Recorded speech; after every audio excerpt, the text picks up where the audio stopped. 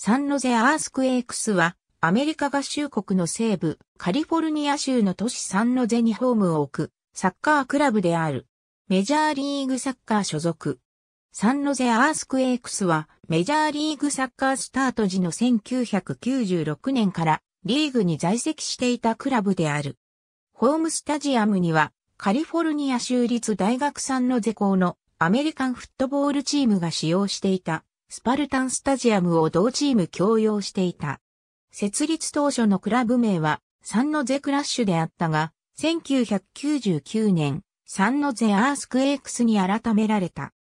このクラブ名は、北米サッカーリーグで1974年から1982年まで存在したクラブをはじめ、サンノゼに所在したいくつかのクラブの名称でもあり、サンノゼのサッカーシーンには大変伝統のある名前となっている。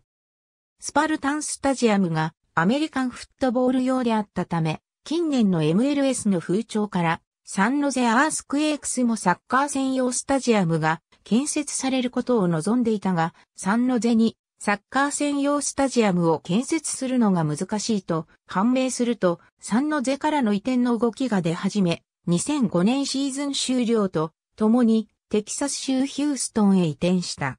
サンノゼアースクエイクスのスタッフ、選手はヒューストンディナモに受け継がれたものの、クラブ名、ロゴ、クラブの歴史、経歴等は継承されておらず、保留扱いとなっている。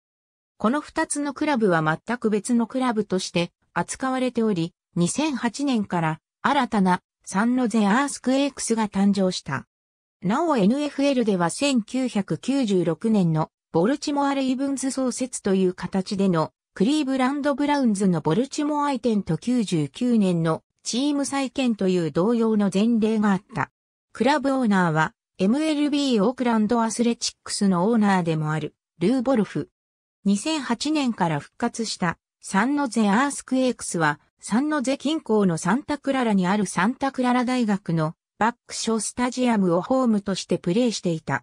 また、オークランドのアラメダカウンティコロシアムやサンフランシスコの AT&T パークでも試合を行ったことがあった。本格的な本拠地として2012年からサンノゼ空港の近くに1万8000人収容のサッカー専用のアバイアスタジアムの建設が開始され、それに先立って2010年4月に予定地の隣にトレーニング施設をオープンした。スタジアムは2015年3月22日に完成した。イングランドのトッテナムホットスパー FC と姉妹クラブであり、2010年7月17日にはバックショースタジアムで親善試合が行われた。カスバー1906ウルトラス中、選手の国籍表記は FIFA の定めた代表資格ルールに基づく。中、選手の国籍表記は FIFA の定めた代表資格ルールに基づく。10、選手の国籍表記は FIFA の定めた代表資格ルールに基づく。ありがとうございます。